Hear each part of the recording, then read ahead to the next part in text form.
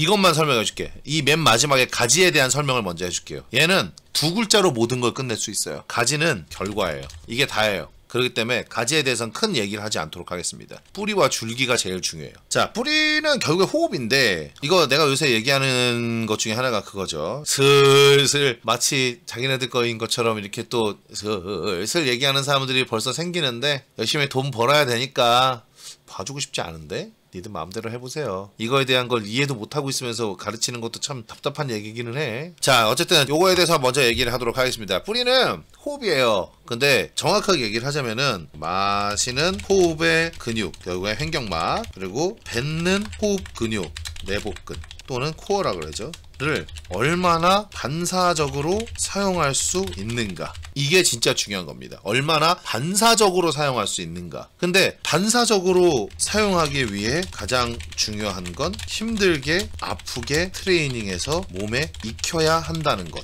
이 말이 되게 중요해요. 힘들고 아프게. 혹시 우리 방송 지금 보고 있는 여러분들 중에 격투기 같은 거 배워본 사람들은 알겠지만 아 나 맞는 거 싫어요 아파요 이렇게 하는 친구들 치고 제대로 격투기 배우는 친구들 없어요. 존나 처맞고 관장님한테 맞고 고통스럽게 하고 존나 스파링하고 뭐 이렇게 해갖고 했던 애들이 잘하지. 그냥 뭐 이렇게, 이렇게 대충 하고 싶어요. 아 아파요 아 아파요. 이런 애들은 절대 안 들어요. 맞아봐야 안다 그러거든. 그 말 괜히 하는 거 아니거든요. 근데 그게 왜 그러냐면 그 부위의 고통을 느껴봤어야 되는 거야. 되게 쉽게 얘기해주게. 겉몸이 있고 속몸이 있어요 아 이거 되게 말이 웃기다. 눈에 보이는 몸 근육도 마찬가지인 게 눈에 보이는 뭐 그냥 복근, 뭐 이두, 삼두, 뭐 어깨 등등 뭐 이런 눈에 보이는 겉 몸이 있고 그 다음에 속 있어요. 그러니까 이게 진짜 코어야. 횡격막, 호흡 보조근, 어쨌든 성대도 마찬가지고 이런 것도 이제 몸이란 말이야. 중요한 거는 우리가 이 속몸, 몸 속의 근육이나 어떤 부분들을 느끼기가 쉽지 않다. 우리가 겉에 있는 근육들, 이두근, 삼두근 뭐 이런 등 근육 이런 거는 눈에 보이고 고통을 빨리 느낄 수가 있잖아요. 왜냐면 내 마음대로 움직이면서 그 부위들의 고통을 느끼다 보니까 근데 항상 얘기하는 거죠. 헬스장에서 등 운동을 하고 나서 아프니까 다음날 알리베기가 아팠기 때문에 아 내가 이 부분의 운동을 제대로 했구나라고 느낀단 말이야. 근데 안 아팠다? 그럼 자극이 안 온 거야. 그거랑 똑같은 게 뭐냐면 여러분이 제대로 한 번이라도 횡격막에 알배가 본 적 있어요? 없죠. 어 근데 있을 수 있어. 술 존나 먹는 사람들은 느껴본 적 있을 거예요. 개 토하고 나잖아. 진짜 진짜 밤새도록 막 토하고 나면 다음날 미치겠죠. 숨도 제대로 못 쉬겠고 막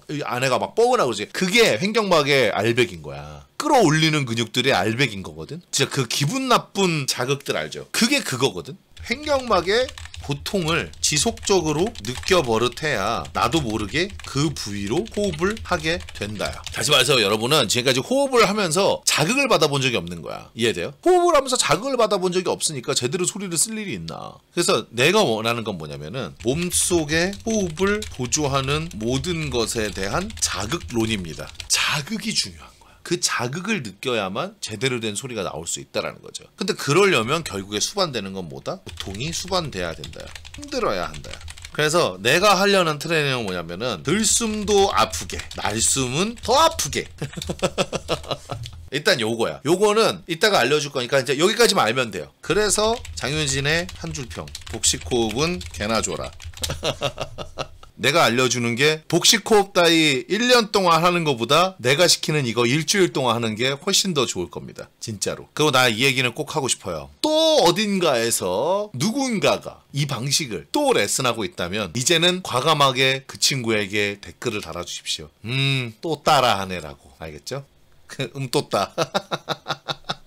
야, 영문도 모르겠다. 음, 또 따라고 적어놓고 오면은 진짜 영문도 모르겠다. 그리고 이제 사실은 진짜 중요한 줄기에 대해서 얘기를 해줘야 돼요. 우리 아까 저 위에서 막 나왔죠. 뭐 줄기에 대한 트레이닝이 어쩌고 저쩌고 뭐가 어쩌고 저쩌고 어쩌고 저쩌고 막 이런 거 나왔는데 쉽게만 얘기를 해줄게. 줄기의 기능은 결국 이어주는 것에 있다. 그렇기 때문에 다치면 안 되고 열려야 한다.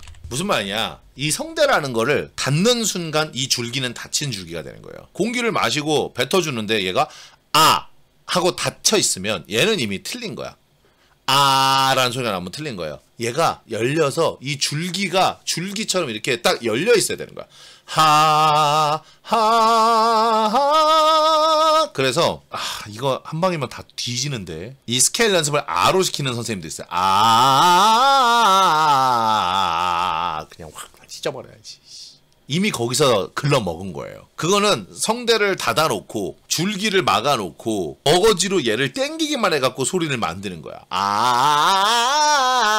아, 성대가 이게 버티겠니? 자, 여러분, 잘 들어? 진짜 중요한 얘기야. 이것도 또 어디서 따라 한다, 이제 봐라. 이제 연구도 안 하고 내 거 보고, 아, 그런가 보다 한다. 또 이렇게 하는 새끼들 아주. 성대는 당기는 것이 아니라, 늘리는 것이 아니라, 얇게 만드는 것이 아니라, 당겨지는 거고, 늘려지는 거고, 얇아지는 겁니다. 무슨 말이야? 자동이라고, 자동이에요, 자동. 자동이에요, 자동. 성대는 자동이에요, 여러분. 자동문입니다. 공기가 가잖아? 공기가, 안녕하세요, 저 왔습니다. 그러면 성대는, 어, 그래요, 왔어요. 하고 열어주는 거야. 자동으로 움직여준다고. 내가 스케일 레슨 옛날에 반박하는 영상에서 이렇게 얘기했어. 스케일 레슨 하지 말라는 건 아니야. 근데 나는 분명히 해서 스케일 레슨은 기초 레슨이 아니다라고 얘기했어요. 스케일 레슨은 중고급 과정이라고. 왜 중고급 과정이냐면 뿌리가 확실하게 만들어져서 압력에 대한 이해를 할 줄 알고 성대를 열어놓고 한마디로 성대에 대한 개입을 쓸데없이 하지 않는 수준이 왔을 때 사람이 스케일 연습을 해야 되는 거야. 그래야 예를 들어서 하라는 소리를 가지고 스케일을 해도 있잖아요. 얘를 그대로 이제 두고 자동으로 움직이게 둔 다음에 호흡의 압력을 가지고 하 잡았지. 하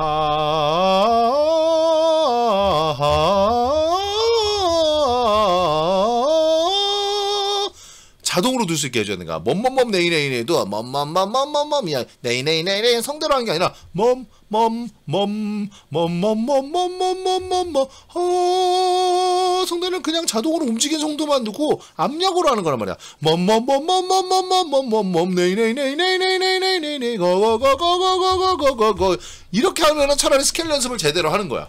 아가야 아.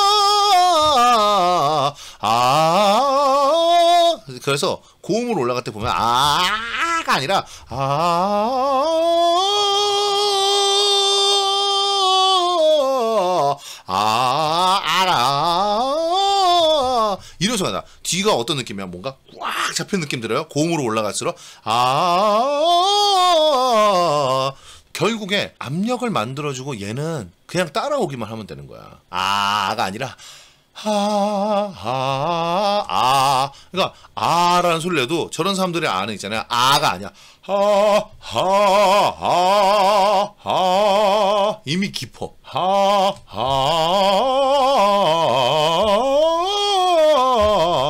아, 이런 식인 거야. 결국에 그 압력을 얘기하는 거란 말이야. 아, 아 하고 목이 아니라, 아,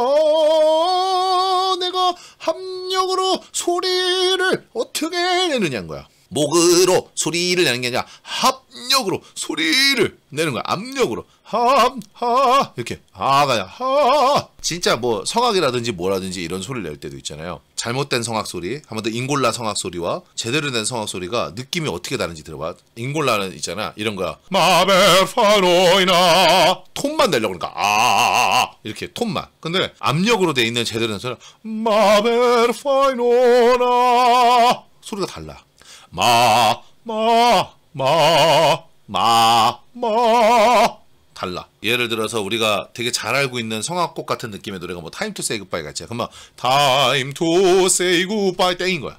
Time to say goodbye, 파예지 캐롤란마 애가 에 얘로 잡아주는 거 말이야. 달라. 소리가 완전히 달라 말이야. 아, 아, 아, 아 달라요. 예를 들어서 뭐 내가 순도르마 같은 걸 한다고 쳐도 똑같은 거야. 알랄바 빈 땡인가. 알랄바 빈흰 채로 빈 채로 빈 채로 비라채 비라채로 달라. 완전히 다른 소리잖아요. 비라차 비라차로 아예 다른 소리란 말이야. 가요로 가도 마찬가지겠지. 여러분이 그렇게 좋아하는 이승철님 같은 그런 약고음 도대체 약고음은 어디서 나온 말인지 모르겠지만 그게 이렇게 가는 거예요. 비가 오 이게 아니라 비가 오는 날에 날 항상 널 그리워해. 언젠간 널 다시 만나는 그날을 기다리며 비 내린 하늘은 그게 이거야. 비 내린 비 내린 비 내린 하늘은.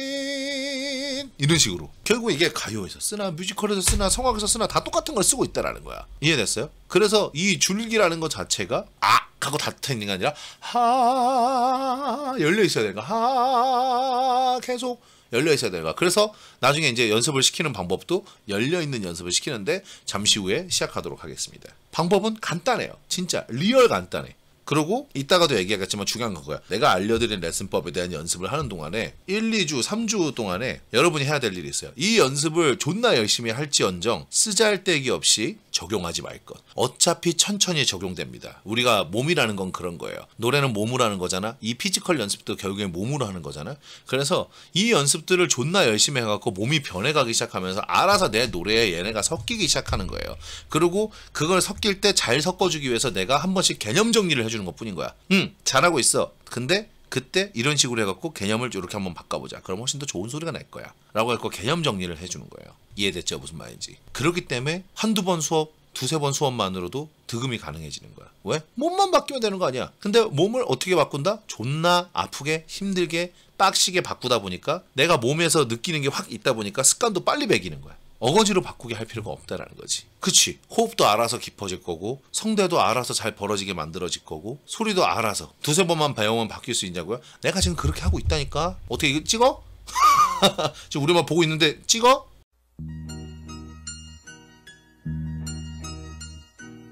장비를 정지합니다. 정지하겠습니다. 안 되잖아. 어, 정, 정지가 안 돼. 정지시킬 수가 없어. 안 돼.